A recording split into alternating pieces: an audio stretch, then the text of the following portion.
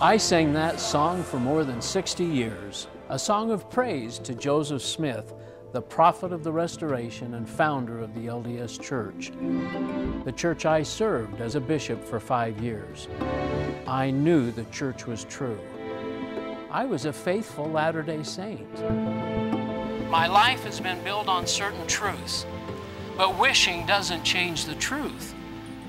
Jesus said, You shall know the truth, and the truth will make you free. When I finally learned the truth about the real history and doctrines of Mormonism, I realized that I was following the gospel of Joseph Smith and not the gospel of Jesus Christ. I have come to learn that many others have made a similar journey out of the bondage of religion and into an authentic relationship with Jesus. And that's what this show is all about. Courageous people who want to share their story, hoping that you, the viewer, will discover the same new life in Jesus. So if you're a Latter day Saint who is struggling with questions or seeking a genuine encounter with the Savior, we invite you to join us tonight. We have a joyful message that we want to share with you.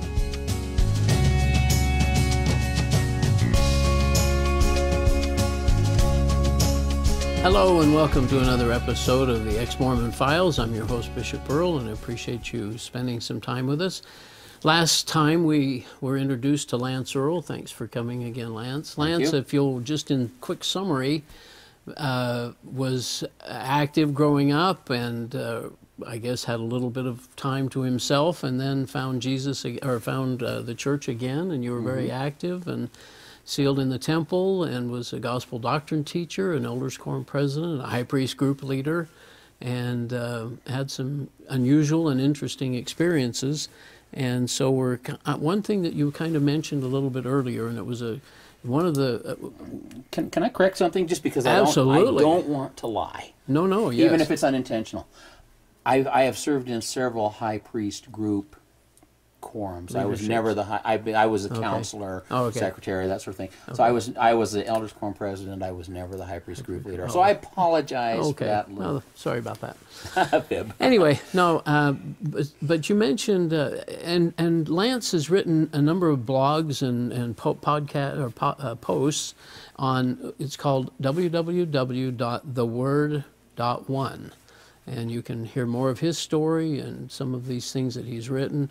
And we're going to touch on a few of those because he's had some insights, and he also has a young lady who writes with you. Are there more than one? Is there more than one that writes? Uh, right right now it's Millie. There are others who I think we're trying to bring in. Millie, uh, can we- Millie Salgado. Salgado, and uh, delightful young lady who I interviewed a, a few months ago or a year or so ago now, but she's really a sweetheart. Anyway, she's written some of those as well.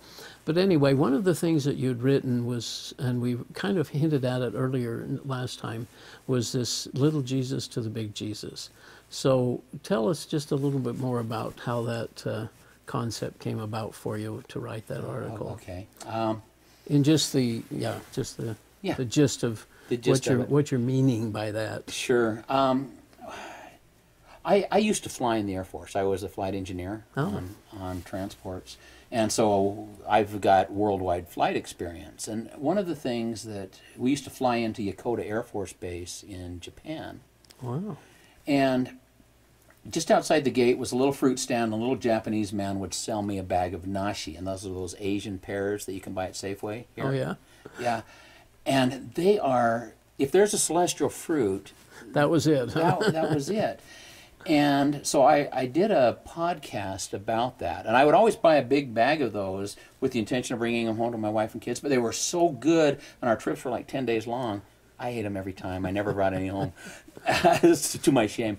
Um, but I, I wrote a podcast about that because then those Asian pears showed up in Safeway and Albertsons and oh, so you get them locally then? Yeah. yeah, but these are Asian pears that were picked green, ripened in a warehouse in hell somewhere Oh, because they are nasty. nothing like the ones outside the. No, the and so when I talk about the big Jesus and the little Jesus, it's the the little Jesus is the Jesus I knew when I didn't know any better. And so people that have never been to Yokota and bought these from this little man, they buy the Albertson version and they think they they're think good. they were- oh, oh, They do you think think that's what's good? Yeah. Yeah, they think that's good. But to me, the Albertson is it's just a cardboard facsimile of the real fruit. Yeah. The Jesus I followed was a cardboard facsimile of the Jesus I now know and love. And so, anyway, when I talk about big Jesus, little Jesus, um, it started early on in the Mormon religion when Joseph Smith, a month before he died, he said, uh, I have more reason to boast than ever any other man had. And then he listed a bunch of men. He listed Paul and Peter and John and I don't know, several of the apostles. And, and they're important men, but they were just men. Yeah. And then on the last of that list, he added Jesus. Jesus came last, and then he said, But I have done more than any of these. And the church never left, uh, the people never left me yet, but they left Jesus or something right. like that. Yeah. yeah, yeah. That's in the history of the church, too, by the way. Yes, That's not it just is. a- Don't- don't- something we made up. But Don't take my word. And in fact, if you go to the word dot one and go to our quotes section, we've got an interesting section on quotes. You can go to quotes, click on Joseph Smith. It's right there. We'll tell you exactly where to find it in church documentation. okay. So it's right there. So anyway, when when a man stands up and says, "I have powers that rightfully belong to God," then the man makes himself large and makes Jesus small. Yeah. And that's what I'm talking about. And so the Bible tells me I can go and be forgiven. I can go to Jesus and get forgiveness. Yeah. But the church says, no, for some sins, you got to go to the bishop. Well, that's just, to me, that's backwards. The bigger the sin, the more I need Jesus. But in the church, the bigger the sin, you more, the more you have to go to the To bishop. the bishop, that's so, right. so it is the smallest of men who are forgiving the largest of sins. Oh. And that makes Jesus nothing. Yeah, very minimize him. Yeah. And when you said that you were sitting on the bed that day, and the big Jesus came to you, but you uh, you didn't recognize him as that. You assumed that he was the Mormon Jesus, uh, uh, the little Jesus. That Yeah. yeah, Yeah. if I've said that correctly. Yeah, that was that was after a few years where I had dove into sin pretty deep and Yeah, and, and finally had that well, let's call it what it is. It was a come to Jesus moment. Yeah. And Jesus came to me and I said, "Gosh, thanks. That's awesome. I'll cry a tear and we'll and then I pushed him aside yeah, and took my sins to the bishop for forgiveness when I had Jesus right there in that room with me. yeah. Crazy. Then the bishop became big, Jesus became small. Now you said you've always had this or enjoyed a good relationship with Jesus, um, and always. So when you went to the temple, and this is one that struck me, did you know what did you think of Jesus' role in the temple? Did you muddle on that at all? You I don't want to fill in words for you, but I had a I have a concept of that. No, uh, you know, other than an order giver, he didn't really do a lot. Well, He gave yeah, direction. an order taker. You know, I mean, God. well, okay, It yeah, just seemed like an errand boy to me. Yeah. You know, and not very important. And uh, yeah. There's there's actually another role from the temple that strikes me more that? bizarre. what's that? The people make covenants, and one of the covenants is that they they consecrate themselves, their time, their talents, everything that God's blessed them with, and everything that God may bless them with, to the church, not to Jesus, but to the The church. building up of the. Okay, and so. I, I I used to take my wife up to the Idaho Falls Temple, and we'd consecrate everything we had to to the church, and then we'd go straight over to the Outback, and I'd buy an eighteen dollar steak. and I'm thinking, if everything's consecrated to the church, why doesn't the church get that? Why don't I just stop at Safeway and get an apple? right? Uh, no one has lived that, but no one can live the law like that. no, no right. one can live the law. But but there's a part in the temple where Satan looks into the camera and he says, "Now I have a word concerning these people. Hmm. If you do not live up to every covenant you made at this altar in this temple this day, you are in my power." I used to always wonder about that as a Mormon because I knew that I was hundred percent Mormon about ninety percent of the time, which meant I never fully lived the law. Right? Always wondering if you've done enough. Yeah, yeah. yeah. You know, my grandmother, uh, uh, just a few days before she passed away, I went to visit her, and she was terrified.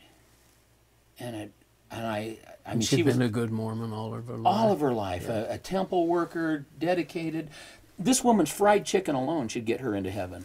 I mean, it's that good. Yeah. Okay? Um, but she was terrified. She said, I can't meet Jesus. What if I didn't do enough? What if I didn't do enough? What a burden. And that troubled me Yeah. because as a Mormon, I had the same problem because I was a 100% home teacher 90% of the time, you know? Yeah, exactly. And and it troubled me. But this Jesus now, my wife, she just gets up every day and she says, "When's he coming?" I can't was wait to see him. if it was up to Mindy, he'd be here right now and he'd be staying in our spare room. That's how much she wants him to come. yeah. And but we didn't have a concept of that as Mormons. So now you've you've experienced a bigger Jesus. Oh man. Yeah. Oh man, Yeah. he is so big. And you know, I keep telling people if there were words, and that's the problem is there is you and I we try to explain Yeah. what we're feeling. If there were words to make other people understand what we're feeling, to really properly describe Jesus, because we're trying to describe the indescribable. Yeah. But if we could if we could describe him so that they can understand, I believe every one of them would sell everything they own today to have what we have found. Well, I agree. I mean, it's just it's amazing how we how our perception of him has changed, and Yeah. and the the Word, the Bible, uh, shares such great stories. Like you're saying, your wife's excited about going to church, and it's because we're going to hear the message and, Right. and hear about Jesus. Right. Yeah. Yeah, I mean, she just gets to go cry again. That's just her her thing, you Her know. thing. She gets to go cry again, and she loves it. Well, I don't know if we've actually come to this moment, but this has only been about six or so months for you, right? I Yeah. mean, I know there's some process before that, but maybe you could share a little bit about what, what finally kind of brought you to, to things. I know you were always uncomfortable with polygamy, but that really wasn't your. Uh, No, I could I could kind of push that yeah. aside. Yeah, I think Yeah. most of us can kind of swallow that one a little Yeah, bit. I I had some problems, but but the biggest one was uh, me being political as I am, Yeah. running for legisla- the legislature in Idaho and, and losing, by the way, but uh, running and losing. Um, anyway, I, I always, I've always had a voice, you know, and I'm pretty much known by a lot of people across the state, and so I would voice things, and I I believe that liberty and uh, faith, freedom and faith are like this; they're connected. Yeah. It's like our founders believed, Right. you know, and so that's that's what I try to teach. And my bishop called me and he said, "Never again outside of church, not in podcasts or columns or Can you- classes or public speaking, can I speak of my faith?" And that really tipped me over, because I am not going to give up the one thing Freedom of speech. yeah, the the one thing that they fought for, and according to Mormons, they fought Yeah. for in the pre-existence was Right. free agency, Right. and they were taking that away, and I, I wouldn't give it up, and so I chased that one all the way to the to the highest levels of the church leadership in Salt Lake, and they all they all supported uh, the destruction of my First Amendment, God-given. And remember, the the Constitution doesn't give us the right.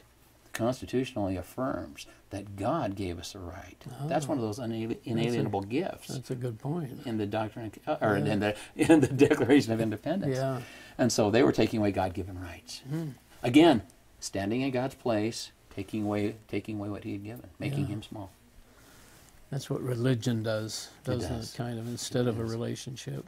It does. So now, did you? Uh, so, as your wife and you shared finally that you both kind of had this feeling of things. Did you say, well, maybe we should go to a, a Christian church, or what did you? What what happened? Well, we, we, we bounced around for a short time. Uh, tried some different churches, and I don't want to talk negatively about Yeah. any, but some of them are still have a, lo- a little bit of ritual and tradition. Yeah. And Well, men, when men get involved. yeah, right? yeah, and they're good churches. I love them. Yeah. But we we bounced around and we finally found one Gotcha. where there's no ritual, there's no tradition, nobody's above anybody else, and it's except for Jesus, and He's above us all. Yeah. But He's also with us all, in us all, loving us all, Uh, and it's great. It's wonderful. now you feel like you've made changes in your life. You've become a new creature. Tell us a little bit about that and what that means. You know, um, one of the things that was so surprising to me was after I'd gone through all of this with my bishop and my stake president, Yeah. right up to the, like I said, right up to the general 70. authorities, I thought, man, I was so angry. I wanted to come down to Salt Lake and knock the temple down all by myself. You know, I was ticked off, and I wanted I wanted justice. And now, I don't feel anger to any of those people. That's awesome. I I want to go. I, I want to go have an opportunity to talk with them, and they won't let me. But I would just like to go tell them what has changed in my life and why it's so important to me. Hmm. But they, What would you say to them?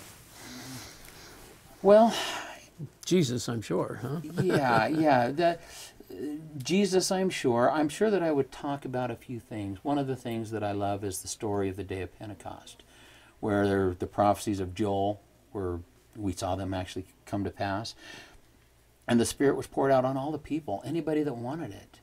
You know, I mean, even to the pagan Cornelius in his home. You know, the Romans. That's right.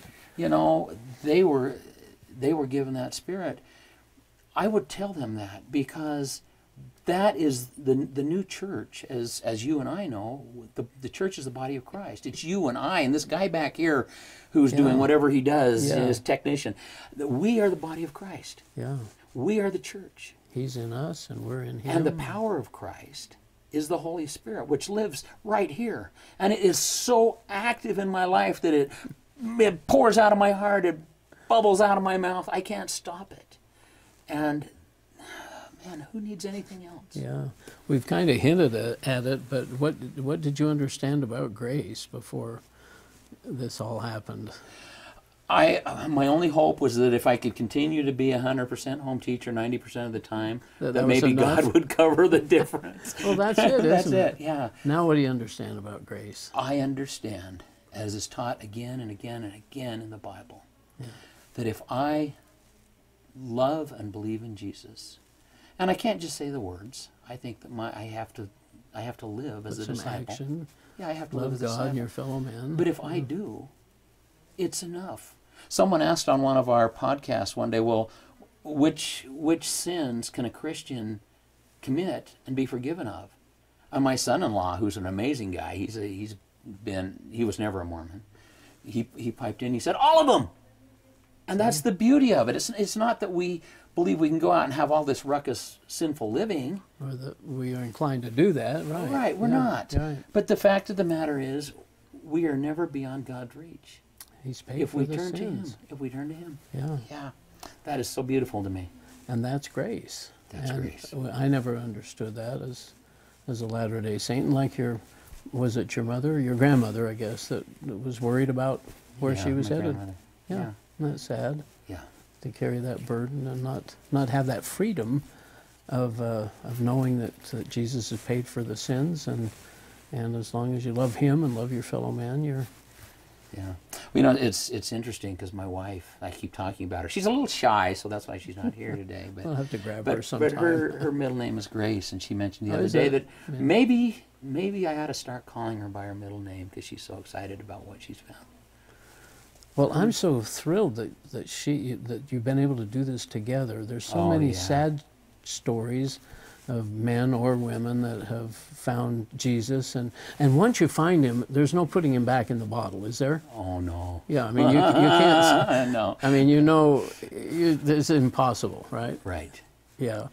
Yeah. So so to have you two together on this, you know, and I know some families have been disrupted because of Yeah. of what one of the, one of the others found out, but. yeah. Uh, well well there has been it's pain undeniable. Yeah. there has been With pain but kid- she and with kids or not so much with our kids with brothers and ex- more extended family but yeah. there has there's been pain but between her and i we are so much happier now than we had ever than we ever could have imagined we could be Does It's she think you're a nicer guy now?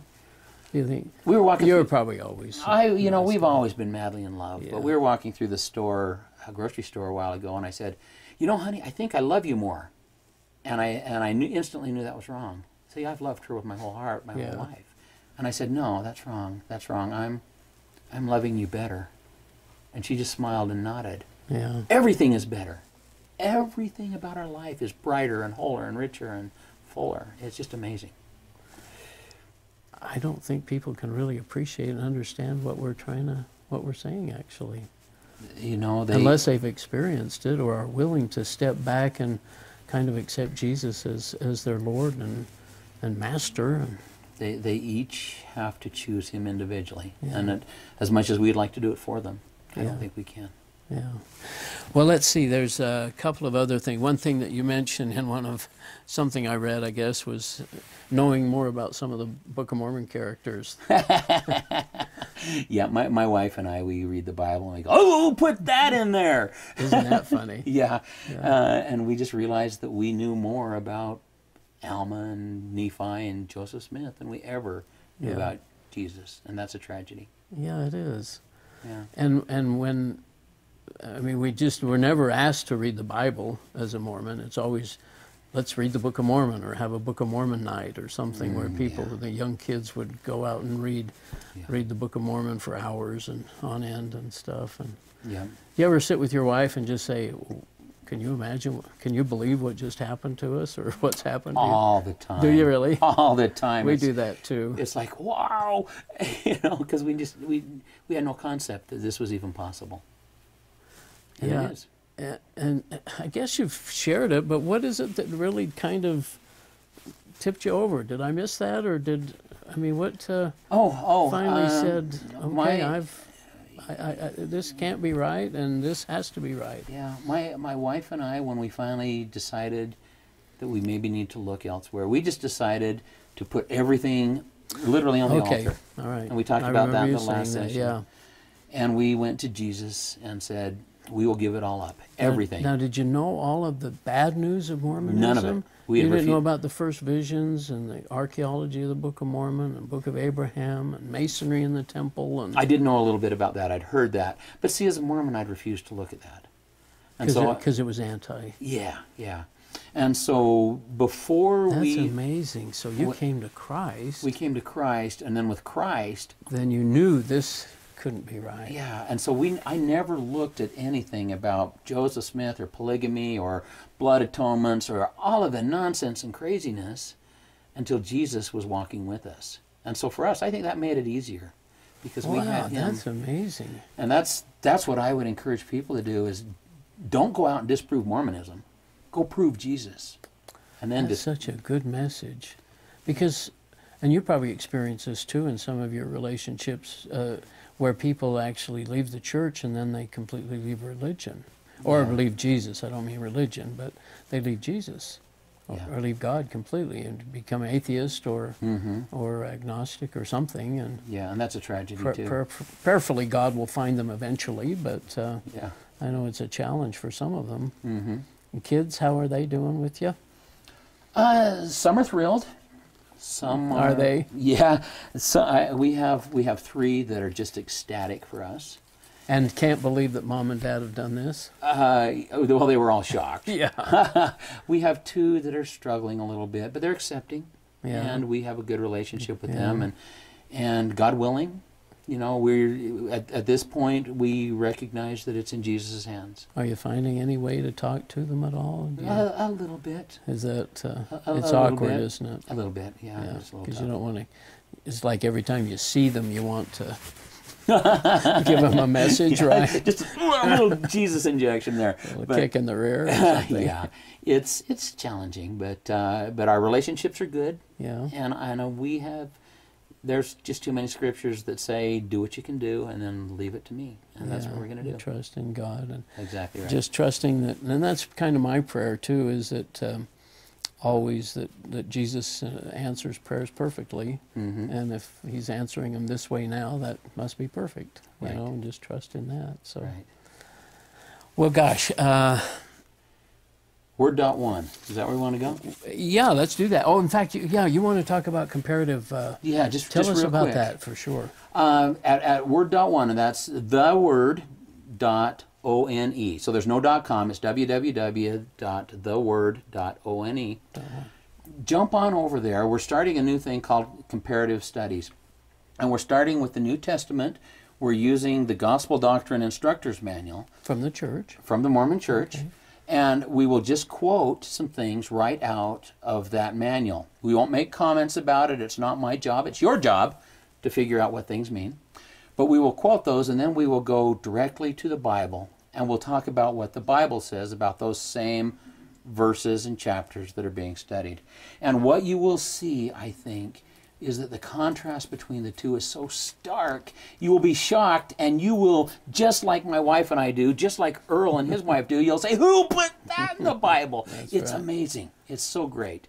So come on over to that site, register, and uh, then we can send you updates as we as those come out, and you can you, then you are free to see for yourself what the Mormon religion is putting out there in the manual, and see what the Bible says, and you decide what's true.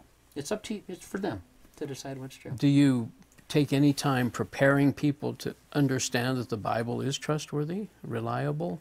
I mean, that's one of the problems in, you know, the eighth article of faith kind of gives everybody a, a little consternation about the reliability of the Bible. You know, that's I, I don't know how to counter that, but I, but I would say this: when I was a kid, they were talking about the Journal of Discourses, and now they're disavowing that. So the Journal of Discourses is the Word of God as far as it's translated correctly, and now they've done the same thing with the history of the Church. It's the Word of God as far as it's translated correctly. With the doctrines of salvation, they're doing the same thing. Pretty soon, Mormon doctrine, Bruce R. McConkie's book is the I, I, same I way. actually yeah. okay. yeah.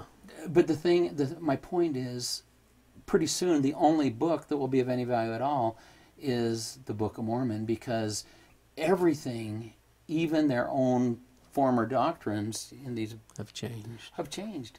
And so you have the Bible, it's the Word of God.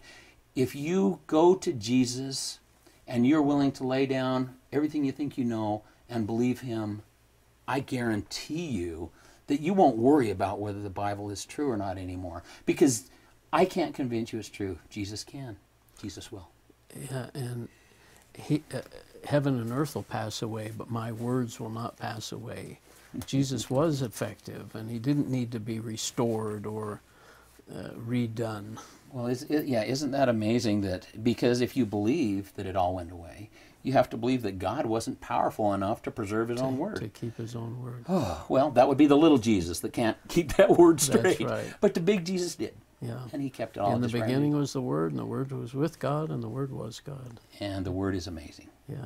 Lance, thanks so much for coming down, and I Thank appreciate you. it so much. You're a, It's been fun. you're a delight, and, and you're a arms instructor and constitutional instructor, and so I hope everybody will go to the the Word dot one and and check you out and learn more about you and and some of these things that you've written and again Millie's written and so on are just fabulous uh, Oh, thank you. insights into the cross and uh, many many other topics. So join us again. Good night.